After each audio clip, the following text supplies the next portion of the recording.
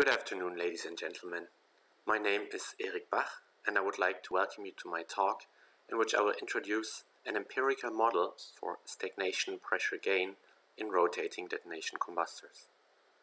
This work was funded from the Aerospace Research Program of the German Ministry of Energy, and I would also like to acknowledge my co-authors Panagiotis Stathopoulos, Christian Oliver Paschereit, and Myles Bohon. Rotating detonation combustion is a promising implementation of the pressure gain combustion concept and has the potential to significantly increase the efficiency of state-of-the-art combustion systems for propulsion and power generation. In an RDC, a detonation wave continuously travels around an annular channel as shown in this animation. This process is sustained for as long as fresh reactants are supplied from the head end. At the aft end, high enthalpy product gas exits the combustor. RDCs have high power densities and constitute a harsh environment for any instrumentation. Additionally, the flow is highly unsteady and fluctuates in the kilohertz range. This clip from our lab shows a 6 second run at approximately 1 megawatt of thermal power. Quantifying the actual gain in stagnation pressure from the air plenum to the exit throat and identifying its main drivers is paramount to assessing and comparing the performance of RDC designs.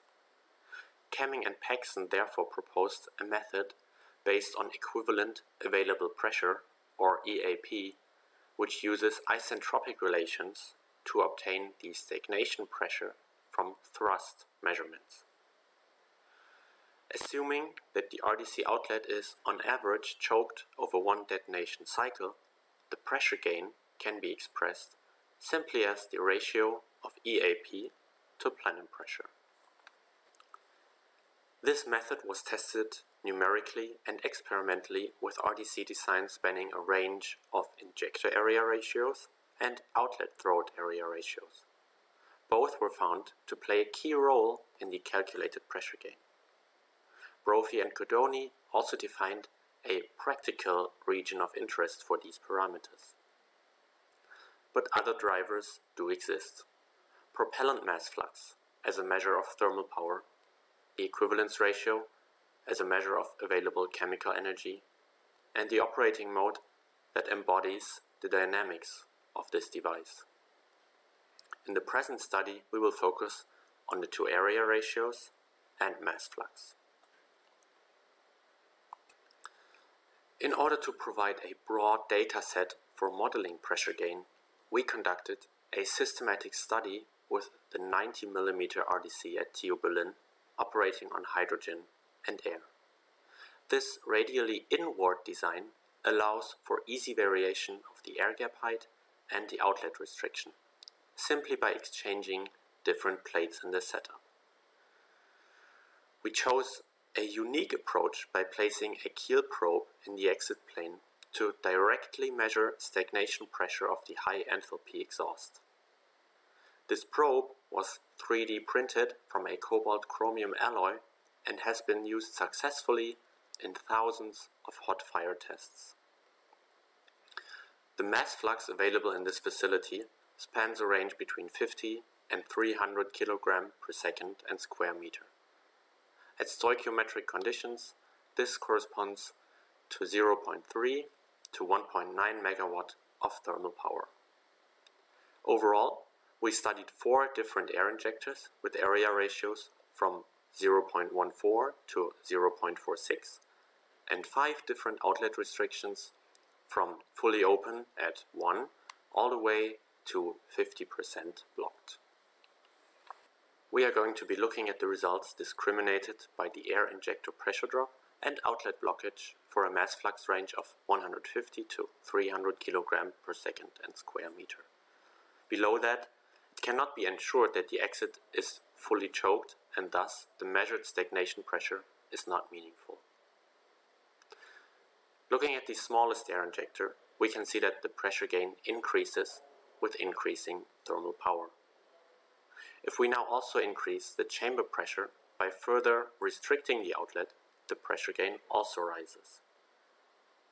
Comparing these five curves to those for the other air injectors reveals the beneficial influence of decreasing injector pressure drop. While no positive net gain was recorded here, the best case approaches a value of negative 8%. This is promising considering the non-optimized RDC design. We will use the data presented here as input for our proposed model. But first, it is necessary to verify that our Kiel probe method is comparable to thrust stand measurements. In order to do that, we are going to look at different published data which can be converted to EAP and pressure gain using Kaemming and Paxson's method. We looked at this graph before, but now it also contains experimental data from Brophy and Codoni. It is also possible to collapse the two important area ratios into just one, the throat to injector area ratio. This was first proposed by Walters et al., and the graph then looks like this. Now what happens when we add our data to it? Let's again start with the idealized two-dimensional CFD results from Kaemming and Paxson, which can be overlaid with the trend line. Now we add experimental results from the Naval Postgraduate School's Hydrogen Air RDC, Purdue's Methane Air RDC, and the Air Force Research Lab's Hydrogen Air RDC. A Russian hydrogen oxygen rocket RDC was described by Frolov.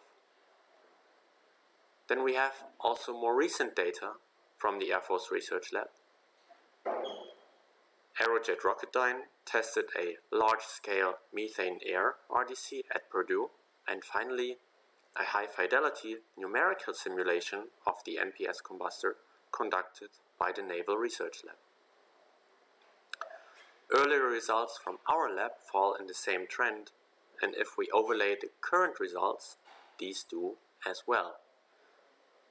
Based on this graph, we can conclude that A, the data gathered with the Kiel probe is similar to that from thrust and experiments, and B, a general trend of pressure gain related to the area ratio appears. Based on these observations, we propose a model that captures the effects of varying injector area ratio, varying outlet throat area ratio, and the propellant mass flux. The model should further be linear in all terms. Higher order models are possible, but their predictive capabilities are less confident considering the trends presented earlier. We will split both alpha and beta into three parts, an offset and a linear relation to the respective area ratio. We then end up with a total of six coefficients that can be determined, for example, with an iterative least squares estimation. For this, we can now use our dataset of more than 250 individual points. And these are the resulting coefficients. As a sanity check, we should expect alpha 2 to be positive and alpha 3 to be negative, based on the definition of the associated area ratios. The term that is multiplied with the mass flux, on the other hand, should be positive, and that is indeed true. We can now check how well our model represents our own dataset.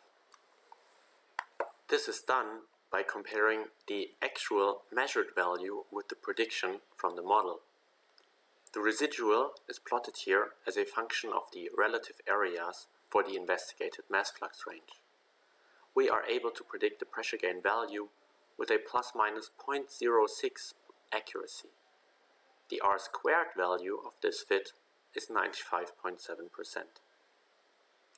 Taking this one step further, we took our model and applied it to Brophy and Codoni's dataset from the Naval Postgraduate School, without adjusting the coefficients. Their RDC, of course, differs significantly from the one at TU Berlin.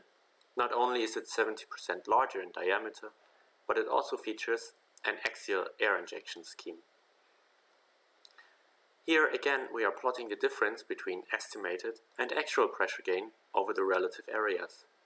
And we can see that although the residuals do increase slightly, this happens mostly for conditions which are extrapolated from our model. Those points are colored red. The black markers correspond to conditions that we covered in our experiment, and there the model does an equally good job. This is a very positive result and also an invitation to the RDC community to increase this dataset on which the model can be trained. Finally, we are interested in what the model tells us about where to expect actual positive pressure gain. In order to do so, we start with the best performing configuration with an air injector area ratio of 0.46, an outlet restriction of 0.5, and a propellant mass flux of 290 kg per second and square meter. We will move this point back to the plane of relative areas, recalling the region of interest that was shown earlier and from the experience of various experimental groups it is challenging to operate an RDC with similar injector and throat areas.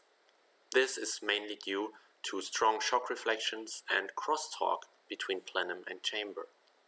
For us, that means that we would like to stay on the upper left side of this line. We can now use our model to scan for lines of constant pressure gain with this specific mass flux. These are here overlaid in gray with the threshold at which the pressure balance is zero in black. This now gives us the small region of geometric conditions for which a positive pressure gain can be expected. In reality, this window will be even smaller due to operability issues as the one-to-one -one line is approached. The other option is to increase the mass flux which shifts and rotates the lines of constant pressure gain. Based on our model, the mass flux necessary to just equalize the pressure balance would be 430 kg per second and square meter. It can already be seen that optimizing an RDC for best performance is a non-trivial task that requires a balance between a multitude of aspects. However, we are positive that our model, which incorporates three main drivers of stagnation pressure gain in RDC, captures, for now, the most relevant effects. It can and should be extended to various other RDC designs to better predict design corridors that lead to positive pressure gain and thus serves as a straightforward tool for the whole RDC community. Thank you. That concludes my talk.